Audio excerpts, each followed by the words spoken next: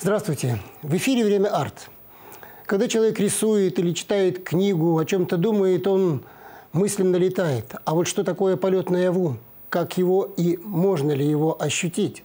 Об этом сегодня наш разговор с начальником Могилевского аэроклуба Иваном Ивановичем Касимом. Иван Иванович, стремление к полету откуда, с чего начинается? когда пишешь или говоришь, там это одно. А вот именно в небо, когда человеку хочется? Почему? Ну, вопрос, конечно, сложный.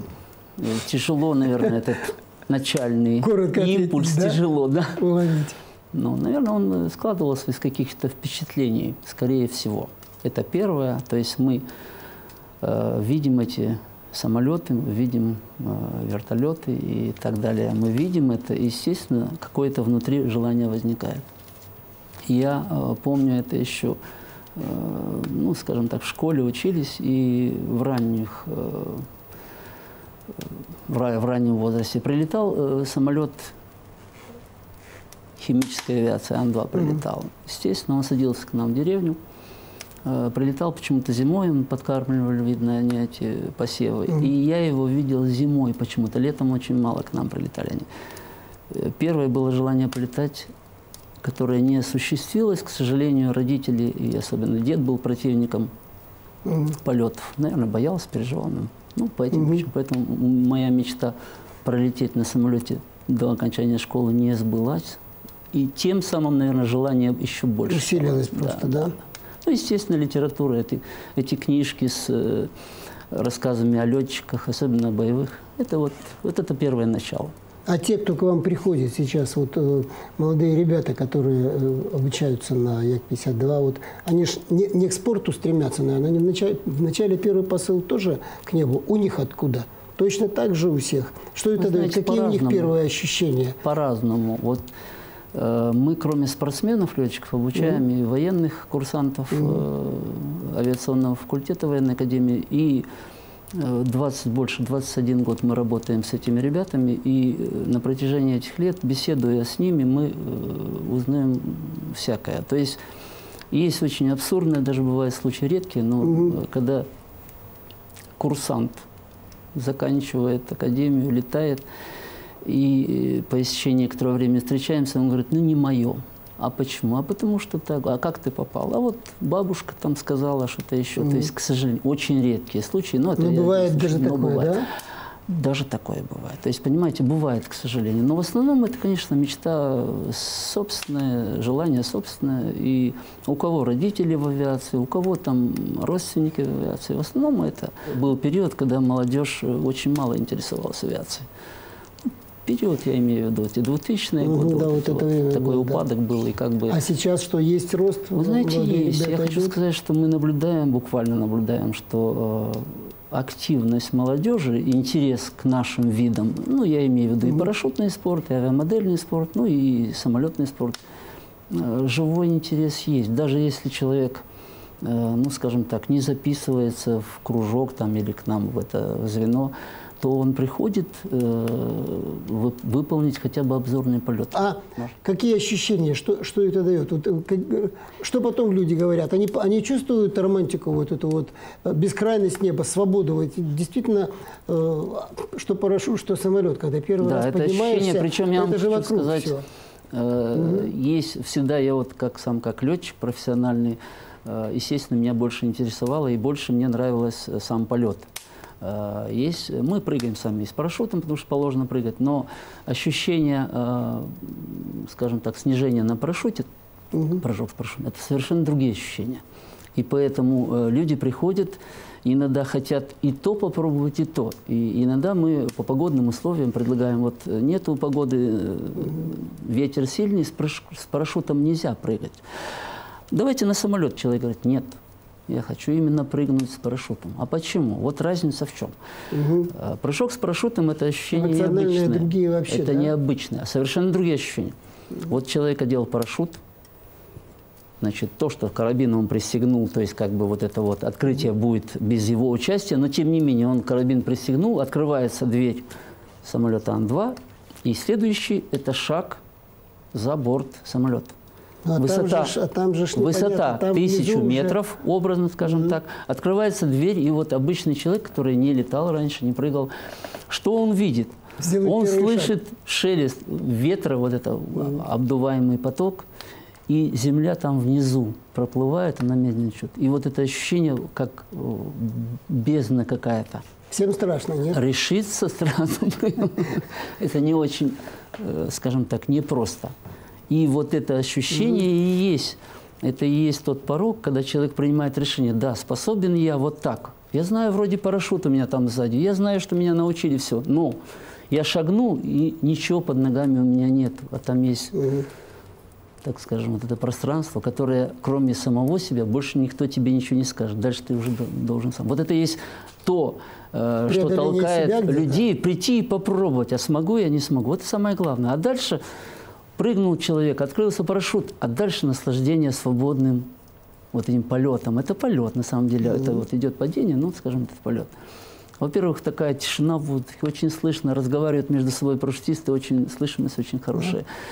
И э, адреналина там хватает, причем мгновенно такой вброс адреналина. А Приезжая вот... из других городов, с районных центров, приезжает нам молодежь, ребята прыгать. Есть и в возрасте люди, которые приезжают не по разу прыгать. Знаете, оно, она увлекает. Тот, кто уже раз прыжок сделал, раз слетал, уже тянет на самом деле. Хотя... А вы, если долго не летаете, вообще тоскуете по небу, хочется сюда? Или вы Знаете, просто долго, не если не летаешь, себя? плохо, если долго не летаешь. Я сравниваю вот э, тех летчиков, которые уже долго летают, все, но они в какой-то степени зависимы уже от этого. Угу.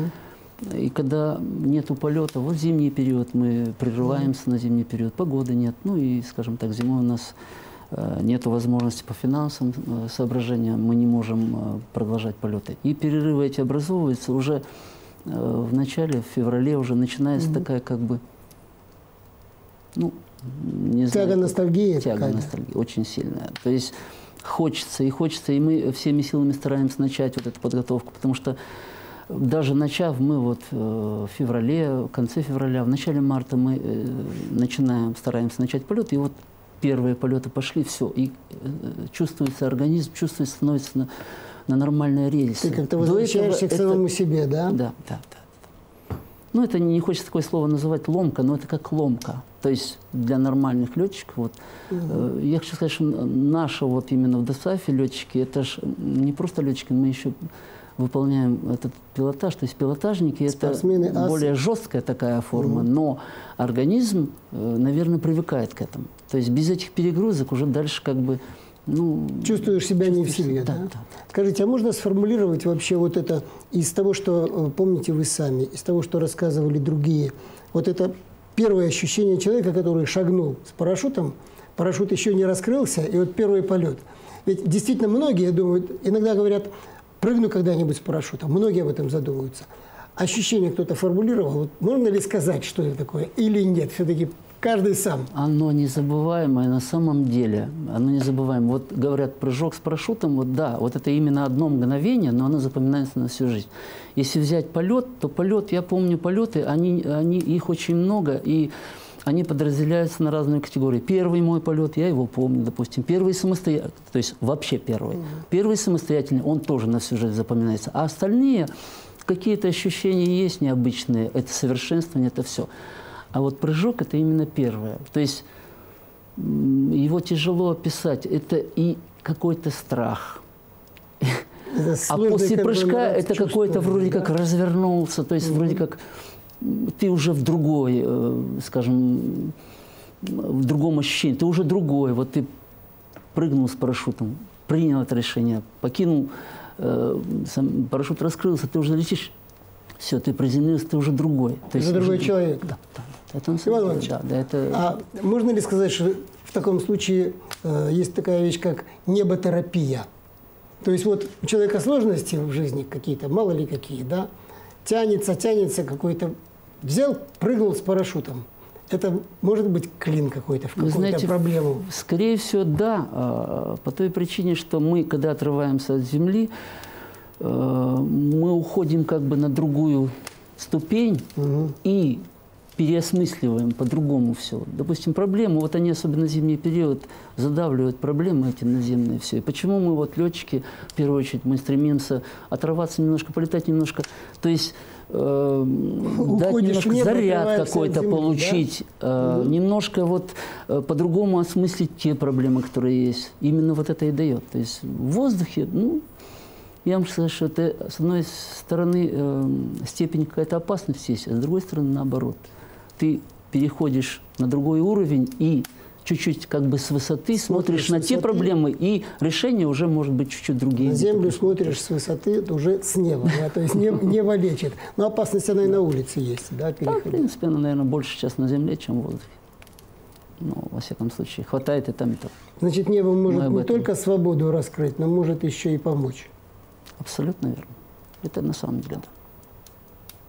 Ну что ж, о том, о том, как небо может помочь и какую свободу может даровать, мы говорили с начальником Могилевского аэроклуба Касимом Ивановичем. Спасибо вам. Ее называют певцом женского образа. Она пишет любовь. А на полотнах этого художника женщина раскрывается как чудо. О женских образах в изобразительном искусстве поговорим с известным белорусским художником Галиной Николаевной Кононовой. Галина Николаевна, ваша творческая кредо – это женский образ. Почему так сложилось? Ну, наверное, я как художник и как женщина прежде всего познаю себя, и через женский образ, через свою душу вижу этот мир, и, естественно, пытаюсь э, сообразно со своим пониманием, видением э, как-то вот в этот мир вписаться, наверное, как художник. А кого вы пишете? Как вы ищете эти образы? Не знаю, может быть, они вам снятся. Может быть, вы просто идете по улице и что-то щелкает? Конечно же, щелкает, потому что художник не, не может не видеть красоту, и только через красоту, а, в моем понимании, художник может работать. Большая роль женщины как э, созидание гармонии, понимаете? Потому что ведь э, известна фраза и известно понятие, как «все беды мира от женщины» мы знаем тоже такое, да? И когда мы вернемся, допустим, к Еве, которая и дала этот плод познания добра и зла, угу. это на самом деле такой мир. Но есть еще другой образ. Есть образ Богородицы, который несет в себе свет и чистоту. И вот мне хочется именно э, женщину представить э, с чистотой души, которая созидает именно гармонию мира. Ну, то есть вот эти семейные ценности, христианские ценности, они помогают при создании образа женщины, да, женского? А, вы знаете, если говорить о художниках, художники бывают разные. Для кого-то искусство – это игра. Для кого-то искусство – это просто поиски и упражнения в каких-то технических инновациях. А для меня искусство – это разговор Бога с человеком. И хотелось бы, чтобы этот разговор э, вылился в диалог. И мне кажется, э, как художник, как транслятор, да, он транслирует мир или свет, или, или тьму. А, наверное, зло или добро. То, что в душе у художника, э, наверное, через э, вот, э, художник на самом деле проводник. И очень большая ответственность на художнике, то, что будет видеть зритель. Понимаете? Но когда вы, портре... когда вы портретируете, это женщина, что вы в ней ищете? И вижу этот духовный свет – есть вижу чистоту душу? души, да, вижу чистоту души, потому что я не пишу конкретно портрет. Для меня это не очень важно видеть. Я вижу через э, женский, женскую красоту, все черты, которые я нахожу в человеке, да, я сообразуюсь, наверное, со своим видением, со своим замыслом, со своим пониманием этого мира. А, я, э, естественно, хочу нести людям радость. Радость через цвет, через пластику цвета, Цвет это очень важно, да? Цвет это очень важно. Вы знаете, опять же, существует такое выражение архитектура застывшая музыка, да? Угу. Для меня живопись э, объединяет в себе и музыку, потому что цвет – это звук, он выражается в тональном, да, выраж, выражение цвета в тональности. Точно так же, как и звук – для меня живопись – это пластика. Это почему я люблю танец. Точно так же, как пластика человеческого тела создает образ, точно так же пластика цвета создает образ живописный. Ну и, так сказать, и все это так близко женщинам. Да, наверное, женское начало, оно все-таки помогает вот, изображать образы женские. Э, я думаю, что естественно, потому что вообще-то считается, что мужчины должны воспевать женщину, mm-hmm. им больше дано видение да, женщины. Но, на мой взгляд, все-таки мужчина больше смотрит на внешнюю красоту женщины. А художник женщина, наверное, все-таки видит больше внутри. Как вам кажется, от чего сегодня не хватает современным женщинам? Какие они? целеустремленные, поменялись ритмы современные, и, естественно, все мы не стоим на месте, и хочется, хочется быть, наверное, современными, да.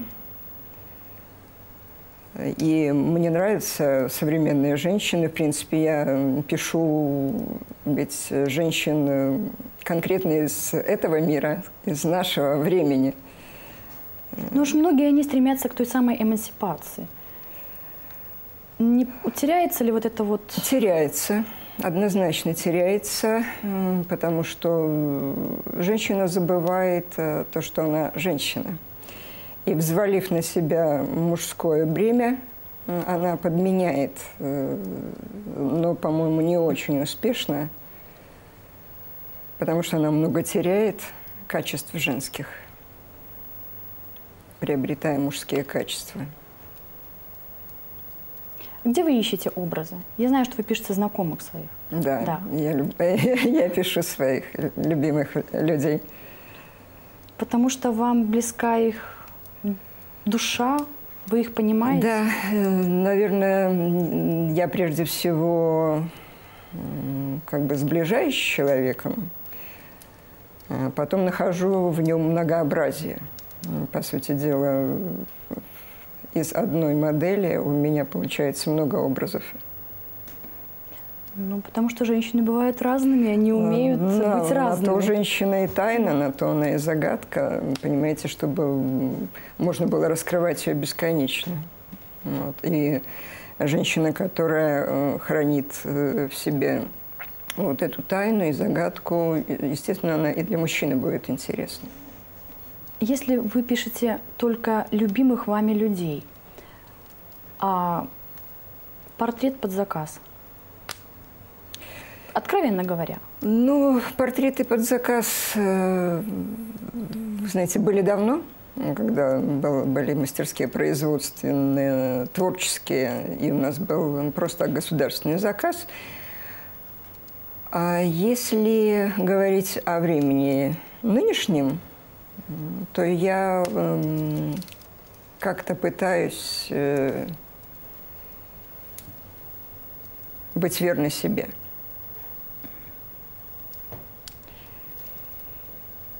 Прежде всего, как художник, быть честным сама с собой. Вот, и ну да, искренним и честным. В, в этом, наверное, художник Ну, все-таки некоторые картины вы э, выставляете на продажу? То есть искусство и коммерциализация вещи... Это про... сложный, конечно, вопрос. Э, и, наверное, идеальное состояние – это когда художник востребован именно тем, что он творит. Mm-hmm. Вот. Это идеальный вариант, конечно же. И, наверное, кто-то так не работает. Э, я вообще пытаюсь именно этому следовать. Вот, потому что э, когда, ну, скажем, о том времени, в котором прошла наша молодость, да, существовал госзаказ, э, который, на который можно было хорошо существовать. И э, сейчас времена поменялись, но вопрос в том, насколько, насколько художник будет искренен и насколько он э, будет следовать себе, если он будет выполнять только волю заказчика. Поэтому здесь перед художником стоит выбор. Выбор. Скажите, а вот стоит ли создавать женский образ, к примеру, будучи в плохом настроении? Ну, это зависит от того, как художник работает. Вот кому-то нужна, наверное, какая-то встряска, чтобы подойти там, к Мольберту. Вот. Э, кому-то нужна музыка, кому-то поэзия – у всех по-разному, наверное. У меня не получается э, работать в плохом настроении, поэтому я не работаю в плохом настроении. Можно ли назвать, можете ли вы назвать любимый ваш женский образ, который вы создали? Ну, наверное, это сложно. Да, всем сложно сказать. Потому что до сих пор находишься в поисках, до сих пор не стоишь, э, до сих пор э, работаешь и, наверное, всегда думаешь, естественно, что твой лучший образ еще впереди. Но, тем не менее, из созданного о чем чаще вспоминается? Какой ну, есть, наверное, какие-то работы, которые... Именно женские. Э, которые, ну, как бы являются этапом, что ли, в творчестве, от которого, допустим, вот он э, завершает какой-то этап, и потом э, начинается какой-то новый путь. Ну, например? И в поисках, ну, это, наверное, Рябина. Вот. Это, по сути дела, первая работа, которая с выставки была закуплена Министерством культуры. Сейчас она находится в постоянной экспозиции музея имени Павла Васильевича Масленникова. Ну вот расскажите мне о той серии, которая связана с Евой. Почему так пришло? Я не знаю почему. Это опять же творческий процесс, который в котором размышляешь, наверное, о своем каком-то предназначении, о своем пути, как человека прежде всего и как художника. И вот это рождение серии Сат Эдема э, вот и пришло с той, в принципе, выставкой, с тем проектом, когда мы делали с мужем совместную выставку. Вот. Называлась эта выставка «Соло на двоих». Вот. Я выставляла этот свой проект «Белый вальс» или «Приглашение гармонии». Вот, Володя выставлял скульптуру и графику. И вот э, размышления, наверное, вообще о мире, о том, что такое мир, о том, что такое человек в этом мире, наверное, вот и родился в, это, в этих э, размышлениях вот этот mm-hmm. про, как бы замысел Сат Эдема. О чем вы мечтаете, если это не тайна? Интересный вопрос. Почаще бывать за мольбертом. А для этого нужно, чтобы было всегда хорошее настроение. Для этого нужно, чтобы было всегда хорошее настроение. Для этого нужно сейчас еще и какие-то физические, так сказать, составляющие и, твою, и твоего здоровья, и семьи. Поэтому, конечно, это очень большое такое, сказать, подспорье, когда ты хорошо себя чувствуешь. Э, вот. Ну, для этого надо готовиться. Вот. Естественно, о чем человек может мечтать, э, о благах, которые хочется еще и чтобы были здесь, и Наверное, чтобы э, мир в душе был.